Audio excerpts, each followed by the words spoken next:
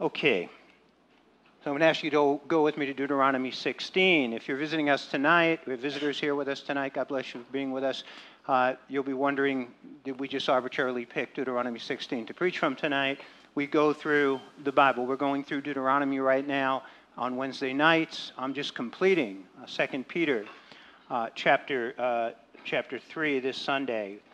But I want to talk to you tonight from Deuteronomy chapter 16. Abide. You know what? Stand with me for the reading of God's word. And um, I want you just to take notice of as we go through this passage.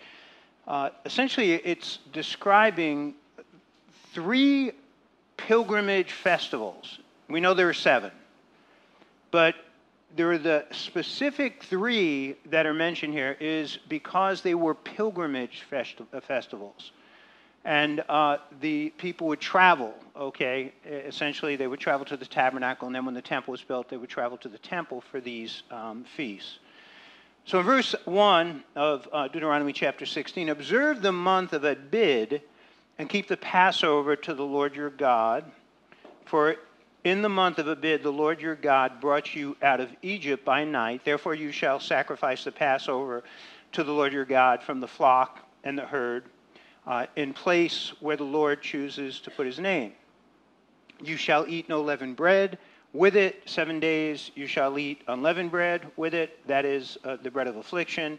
For you came out of the land of Egypt in haste, that you may remember the day in which you came out of the land of Egypt and all the days of your life.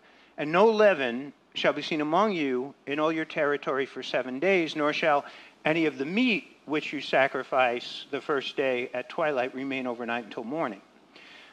You may not sacrifice the Passover within any of your gates uh, with uh, which the Lord your God gives you, but at the place where the Lord your God chooses to make his name abide. There you shall sacrifice the Passover at twilight, at the going down of the sun, at the time you came out of Egypt, and you shall roast and eat it in the place which the Lord your God chooses. And in the morning you shall turn and go to your tent. Six days you shall eat unleavened bread, and on the seventh day there shall be a sacred assembly to the Lord your God. You shall do no work on it. You shall count seven weeks for yourself. Begin uh, to count the seven weeks from the time you begin to put the sickle to the grain. Then you shall keep the feast of weeks to the Lord your God with the tribute of a freewill offering from your hand, which you shall give as the Lord uh, your God blesses you. You shall rejoice before the Lord your God, you and your son and your daughter, your male servant, your female servant, uh, the Levite who is within your gates, the stranger and the fatherless, and the widow who are among you, at the place where the Lord your God chooses to make his name abide. And you shall remember that you were a slave in Egypt, and you shall be careful to observe these statutes. You shall observe the Feast of Tabernacles seven days, and you shall uh, gathered from uh, the threshing floor and from the winepress, and you shall rejoice in the feast, you and your son and your daughter, your male servant, your female servant, and the Levite, uh, the stranger, and the fatherless, and the widow, who are within your gates. Seven days you shall keep uh, the sacred feast to the Lord your God in the place which the Lord chooses, because the Lord your God will bless you in all your produce and in all the work of your hands, so that uh, you uh, shall surely rejoice. Three times a year, all your males shall appear before the Lord your God in the place which he chooses at the feast of unleavened bread, at the feast of weeks, and at the feast of tabernacles, and they shall not appear before the Lord empty handed. Every man shall give as he is able, according to the blessing of the Lord your God, which he has given you. Father, just open our hearts to your word. Lord God, I know, Lord God, many here, uh, they, Lord God, from the past weeks, from the past months, they understand the significance, Lord God, of these seven feasts and the three that are mentioned here. Lord God, I just pray, Lord God, that you would impress upon our hearts tonight the significance of, Lord God, coming to the place where you abide and abiding, Lord, in you. In Jesus' name we pray this. Amen. So, again, Deuteronomy chapter 16 describes three pilgrimage festivals, okay? You have uh, the, the Pesach, okay, um, the, the Passover. You have uh, the Feast of Unleavened Bread. Uh, you have Shavuot, okay, if I'm saying it right, the Feast of Weeks. And then you have Sukkot, the Feast of Tabernacles, the Feast of Booths. Again, what makes this passage unique, there were three pilgrimage, okay, feasts. We have gone through the seven feasts. Let me just, I'm going to give you a, just a quick little run through to understand the seven feasts. You have the four spring feasts, and then you have the three fall priests, uh, the, the fall uh, feasts. The Passover, unleavened bread, first fruits, Pentecost, the spring feasts, trumpets, atonement, and tabernacles, okay, are the fall feasts. Now, again, notice only three of the seven are mentioned here because, again, God is calling the people as they are preparing to enter into promised land that they are three feasts, again, of pilgrimage. What's key to understand in understanding the seven feasts of Israel, they are all foreshadows of who? Of Yeshua. Okay? They are all foreshadows of Jesus. So in Colossians chapter 2, 16 and 17, so let no one judge you in the food or in drink or regarding to festival or new moon or Sabbath, which are a shadow of the things to come, but the substance is of Christ. They were shadows of Jesus. They were typologies, okay, foreshadows of Jesus. In Hebrews chapter 10, 1 again, for the law having a shadow of the good things to come, and not the very image of the things, can never, with these same sacrifices which they offer continually year by year, make those uh, who approach perfect. So, again, the seven feasts are seven shadows, seven typologies of Yeshua. And you look into it, and we'll look into it a little more deeply here. Essentially, the, the Passover, I'll come over here, the Passover was a typology of Jesus' death the sacrificing of the Passover lamb, the Feast of Unleavened Bread of his burial, the Feast of First Fruits, his resurrection, the Feast of Pentecost, the coming of the Holy Spirit. Now, Jesus has fulfilled those four feasts. The three feasts of the fall holiday, and what you'll look here is, and it's really neat because between the first four and then the last three, there is this gap. We are in the church age. When the Lord come back, comes back, he will fulfill the fall holidays, Feast of Trumpets. What has to sound before the rapture occurs? The trumpet. That is the fulfillment of the Feast of Trumpets. Day of Atonement. The Jewish people will turn to Yeshua in repentance. we see that in the book of Zechariah. We see that book of Revelation, chapter 7, chapter 14. But there will be a coming home of the Jewish people to their Messiah. The hardening will have ended of their hearts. And that will be fulfilled Day of Atonement. And then the Feast of Tabernacles is fulfilled in the millennial kingdom, where now humanity, the saved humanity, Jew and Gentile, will dwell with the Lord right? Revelation chapter 20 for a thousand years mentions it six times. So uh, I'll bring you back here to uh, Deuteronomy chapter 16. Just look at verse 6 again. But at the place where the Lord, okay, at the place where Elohim, your God, Yahweh, chooses to make his name. What is significant about his name? To make his name abide. The, the name of God and every name of God that you see in Scripture is a description of his nature, of his character, of his essence. So the, the, name, the name Elohim, and Elohim is the first name of God we find in the Bible in Genesis chapter 1 1, right? In the beginning, right? God, Elohim, created the heavens and the earth. Elohim describes God as the mighty creator right? El Shaddai. You guys know. Who knows what El Shaddai means? It's El, Shaddai is essentially um, God Almighty. Yeah, God Almighty. El Shaddai is, is God Almighty. Um, Yahweh Yireh. Yahweh Yireh. Right? Jehovah Jireh. The Lord shall provide. He's the provider. Yahweh Rapha. Oh, by the way, I'm using, I'm using the Hebrew not uh, the Greek. You know, the Jehovah Witnesses come along and they say, well, God's name is, is uh, Jehovah. That, that is a Greek translation that was done many years later. The Hebrew is, his names are, are Yahweh, Adonai, El Shaddai. So uh, Yahweh Rapha, the Lord our healer. Yahweh Shalom, the Lord our peace. Uh, here's one that will make you think a little bit. Yahweh Tesori. Anybody? Tesori means rock, the Lord our rock. So all those are just names. You know, you, if, if you can, I mean, there are wonderful books written on the names of God. You look at the Hebrew names of God, it's a great study to do. You'll come to understand more and more deeply who God is. A great revelation through his name. So it's significant here. Again, he will choose a, a, a, essentially a place where his name, where his presence, where his essence, where his, his character will abide. Now, those places are very clear in right the Tanakh in the, in the Old Testament. You have the tabernacle, and then eventually you have the building of the temple, Solomon's temple. What's, what's important, those were significant places where God, in a very unique way, manifested his presence to the people, right, who were coming and worshiping him and seeking him. Now, I just want to show you in Acts chapter 7, 48 through 50, when Stephen is giving his sermon, he quotes here from the Tanakh, from the Old Testament. He says, However, the Most High does not dwell in temples made with hands. As the prophet says, Heaven is my throne, the earth is my footstool. What house will you build for me, says the Lord? Or what is the place of my rest? Has my hand not made all these things? But God is essentially is omnipresent.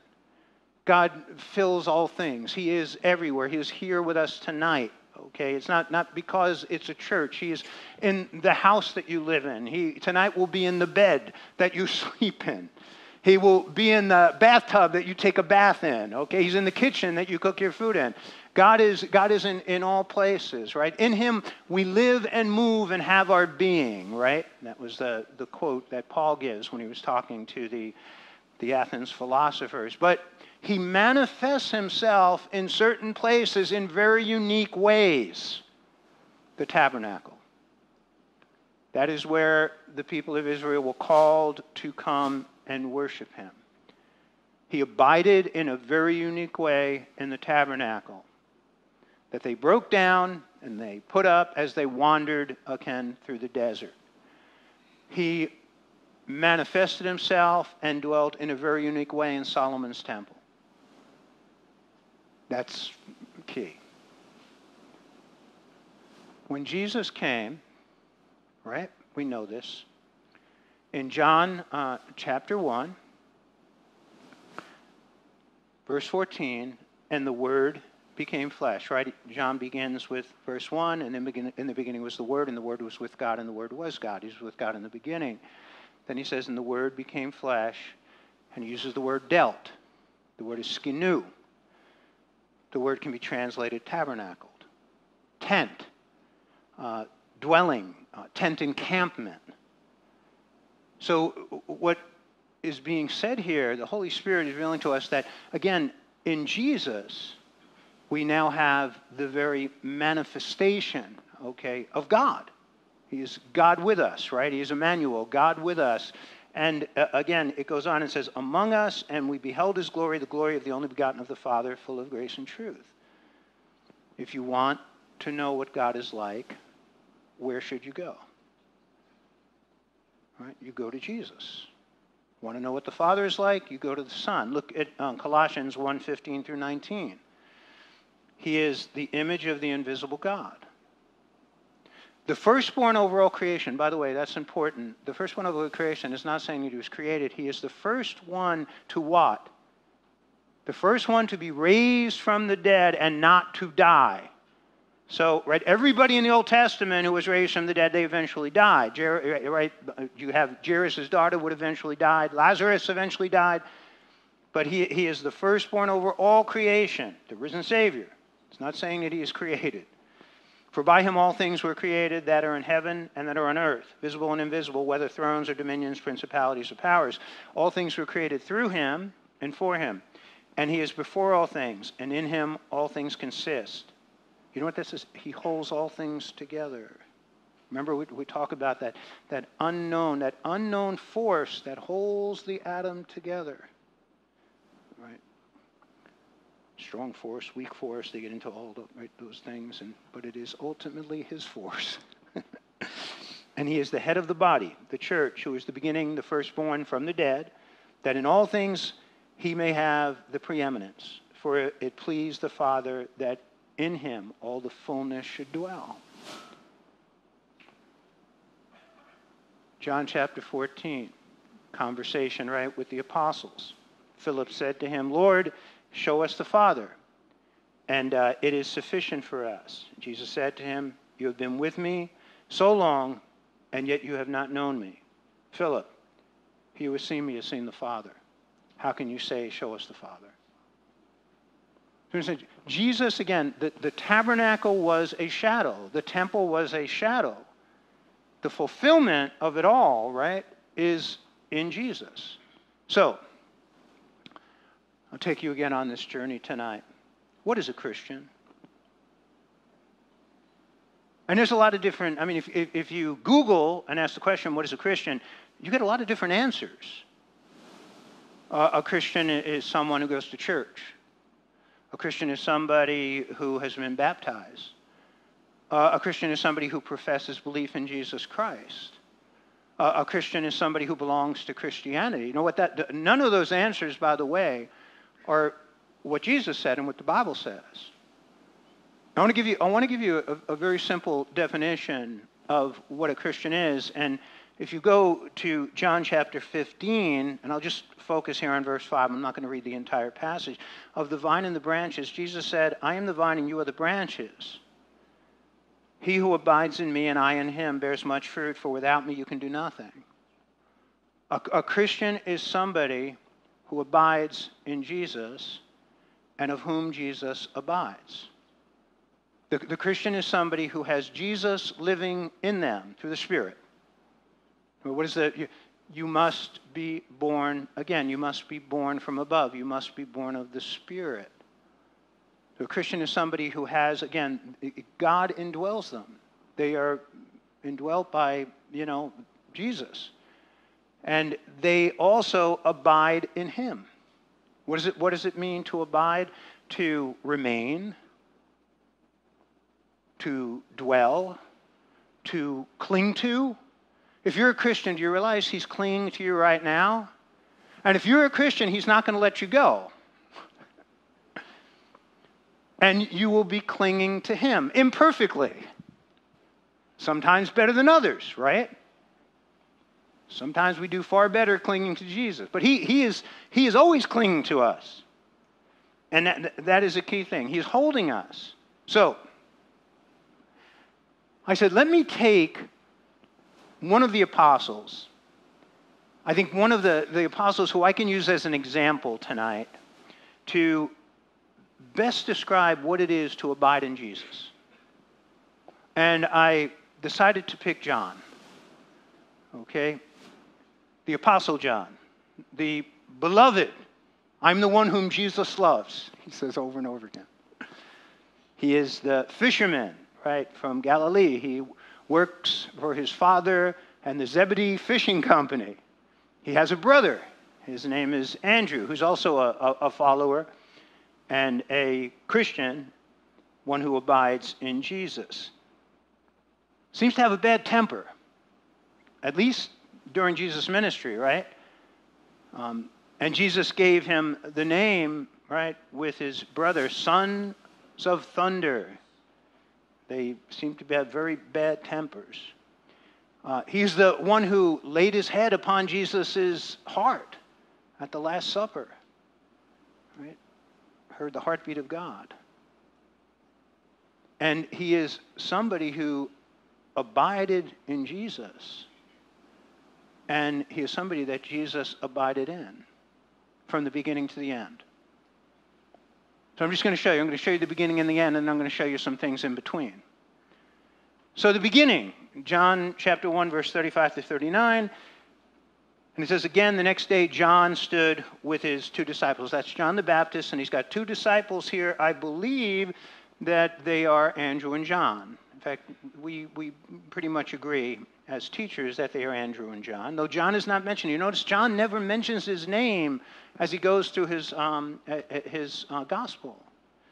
Well, she see it a number of times tonight. And looking at Jesus as he walked, he said, Behold the Lamb of God. And the two disciples heard him speak, and they followed Jesus. Then Jesus turned and seeing them following, said to them, What do you seek? And they said to him, Rabbi, which uh, is to say, uh, when translated, teacher, where are you staying? And he said to them, Come and see.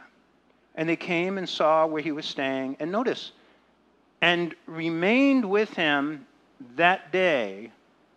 Now it was about the 10th hour. I want you to see the word remained. The word is meno. It's the same word that's used in John chapter 15 over and over again about abiding.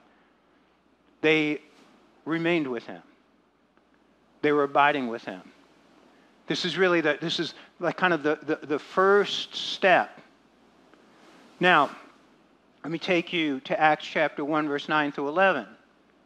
This is the ascension of Jesus. So to, say, so to speak, this is the end of Jesus' earthly ministry because John abided in Jesus from the beginning to the end. And then further on, Acts I'm going to show you something when we wrap up tonight that'll blow your mind. So now, when he had spoken these things while they watched, he was taken up, and a cloud received him out of their sight. And while they looked steadfastly towards heaven as he went up, behold, two men stood by them in white apparel, and who also said, and notice, men of Galilee, I would think that John is in this group, because he was certainly in what followed with Pentecost. Why do you stand gazing up into heaven? This same Jesus who was taken up from you into heaven will also come in like manner as you saw him go into heaven. Here is John. He was with Jesus right from the beginning, abiding in him, abiding in him till the end, at least the end of Jesus' earthly ministry. I think that after the little meeting where they spent that day with Jesus, uh, a day or two later, Matthew chapter 4, 21 and 22. Going on from there, he saw the two brothers, James the son of Zebedee and John his brother, in the boat with Zebedee their father and mending their nets. And he called them, and immediately they left the boat and their father and followed him. And here now again, this is the abiding, the abiding in Jesus. There's a key connection between following Jesus and abiding in Jesus. You cannot, you cannot be abiding in Jesus and not be following Jesus. Now, there come as you go through you go through the gospels there are just some incredible abiding experiences that John has. And as you are abiding in Christ you will look at these things and you will find that, that many of these experiences you have had or you are having or you will have. So one of the, the wonderful things about, about John his relationship with Jesus. He's one of the three inner circle men so Jesus had an inner circle, and one was John, one was Peter, right, and one was James. And those three got to experience some things that the others didn't. They raising of Jairus' daughter. Remember, they went up and there were people weeping and crying and carrying on and mourning. And what did Jesus do? He put them all out. Just kept the mother and the father and the three right, of the inner circle in there, and he took the little girl with his hand, and he says, Talitha kumi. Little lamb, rise.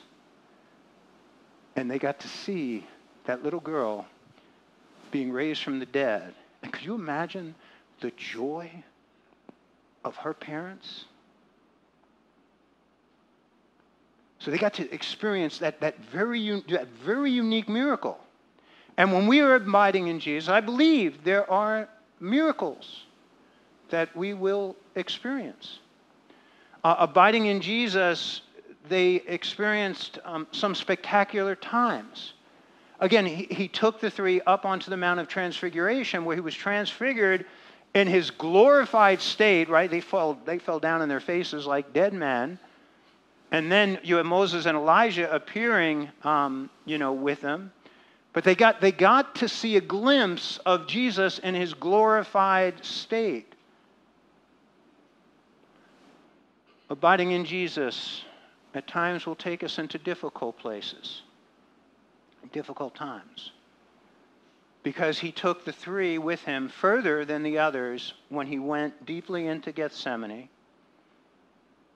and they fell asleep. And he rebuked them, right? Three times. Uh, you know, can't you stay awake? Watch and pray so that you don't fall into temptation. Let me just say this. That was a very difficult time. I think that we live sometimes with regrets. And I think that John probably lived with that regret. You know, he loved Jesus, he loved his Savior, he loved his Lord, and he lived with that regret that he couldn't just stay awake and just like he look, he wasn't gonna he wasn't gonna be some type of you know, great strength with Jesus, but he just could have been there and been a comfort to Jesus in this very trying time.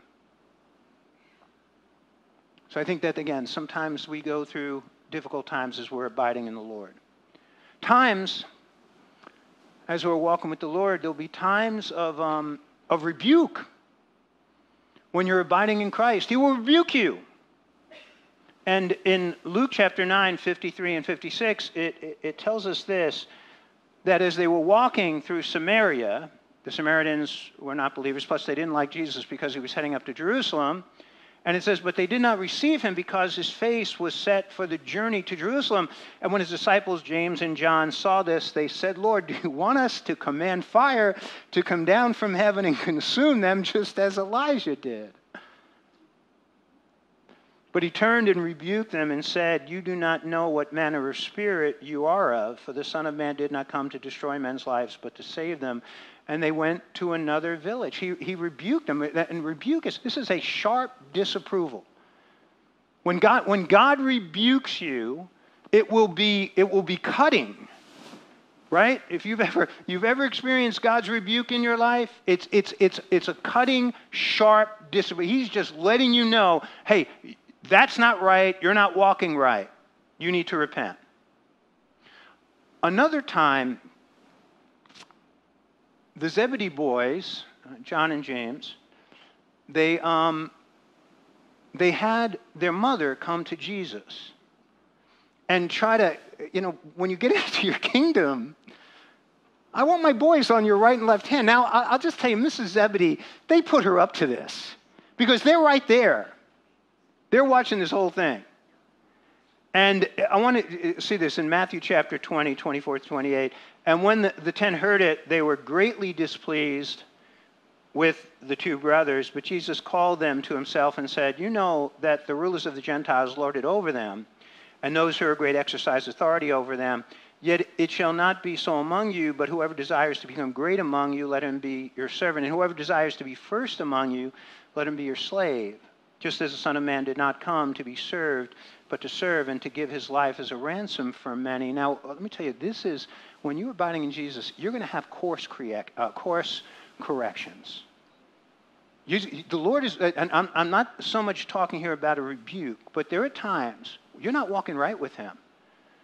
And he, he is going to let you know you need to change your course. You're not thinking right. You're not, you're not believing right. You're think, you know, in this case, you're thinking like the people of the world.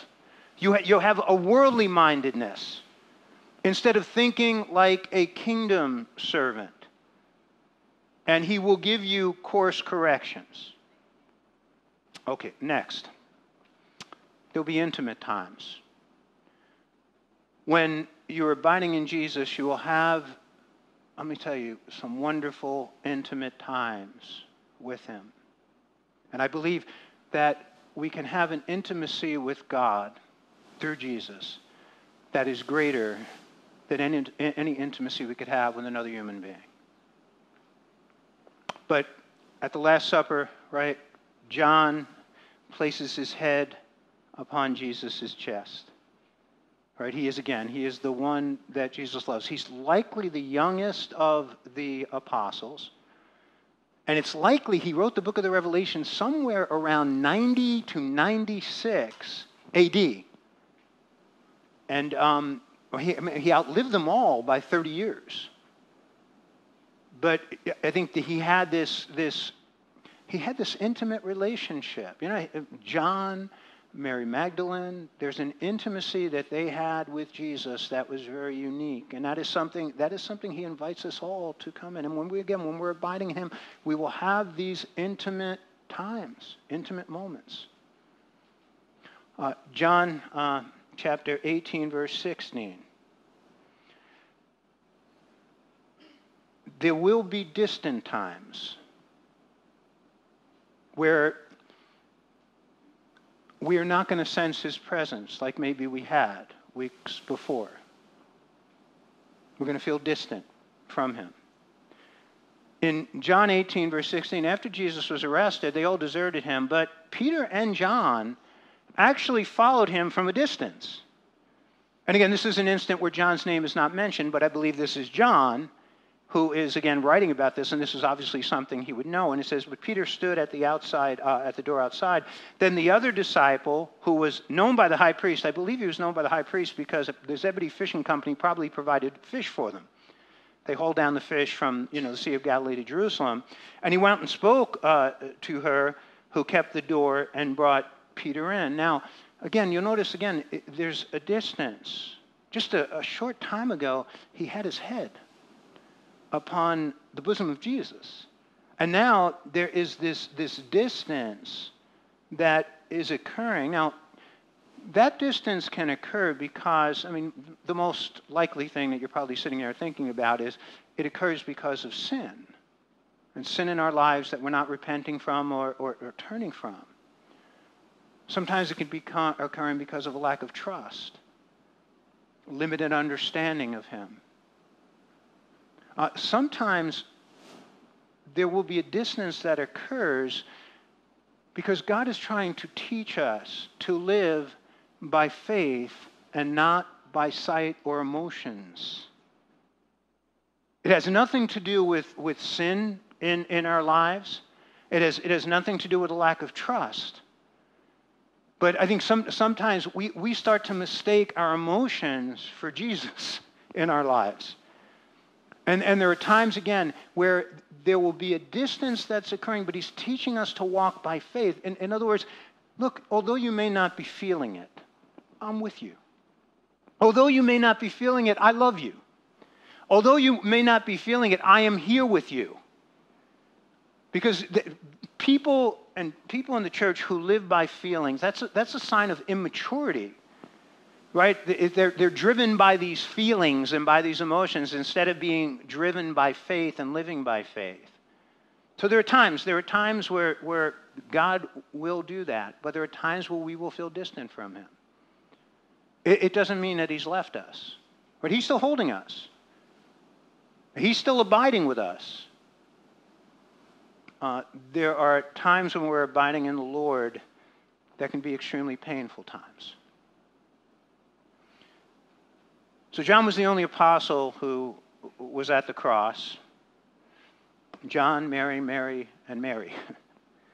But John chapter 19, verse 25 through 27 now there stood by the cross of Jesus his mother and his mother's sister, Mary, the wife of Clopas, Mary Magdalene.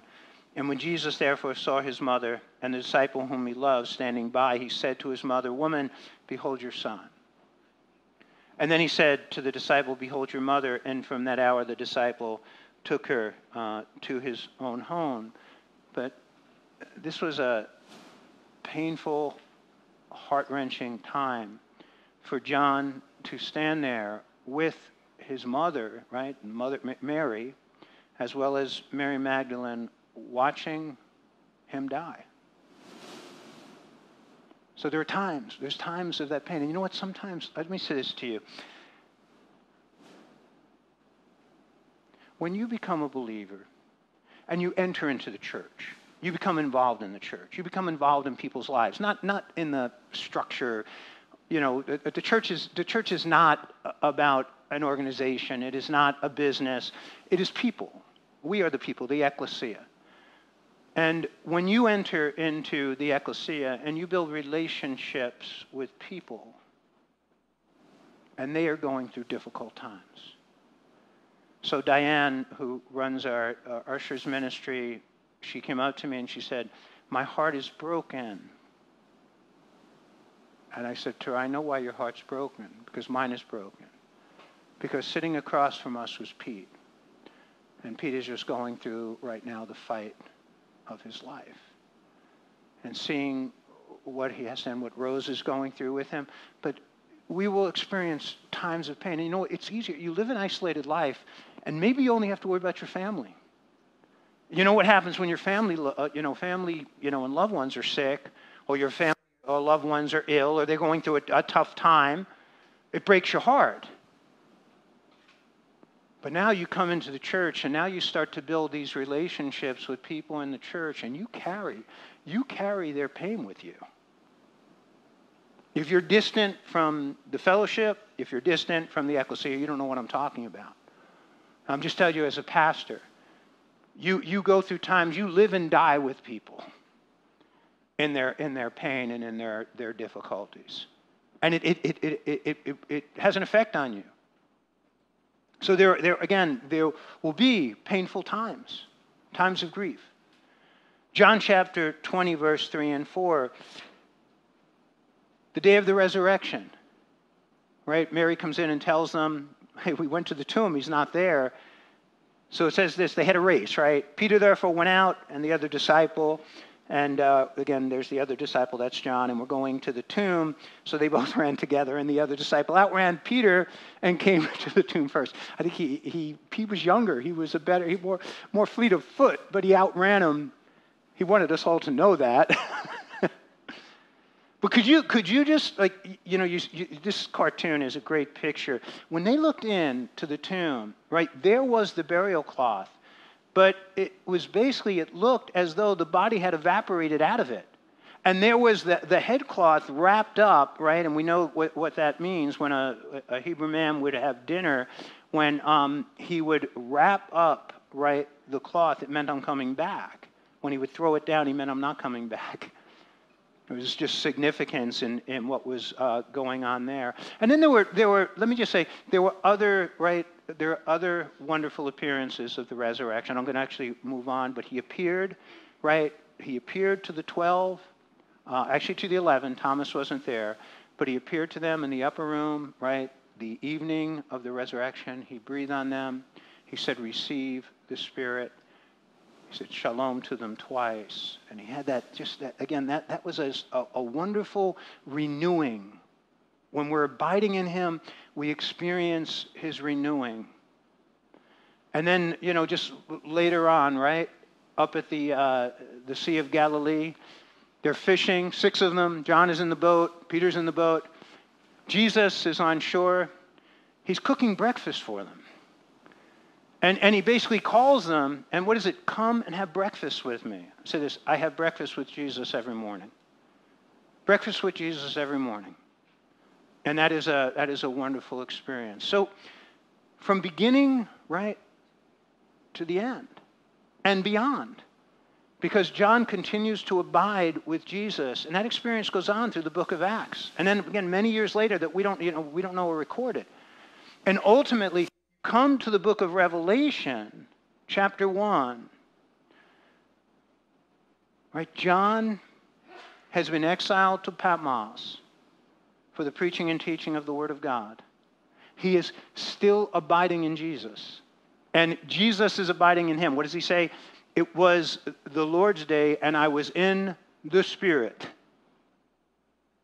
Now, the experience that John has in Revelation, I believe, is an experience that we one day will all have. But I don't think we will be here when we have it and that is whether we are raptured or whether we die to go home to be with him. We separate from the physical body, but we will be with him. And I want to show, I want to show this video to you. And can we get sound? We have good sound? This, this is from uh, the movie with Richard Harris that covers the entire Revelation. You can find it on YouTube. I think it's free.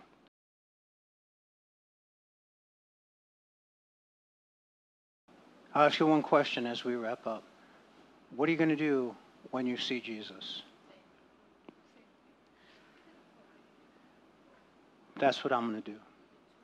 I'm going to fall on my face because I am totally unworthy for everything he has done for me. I'm totally unworthy for everything he has given to me, for the life that he laid down for me.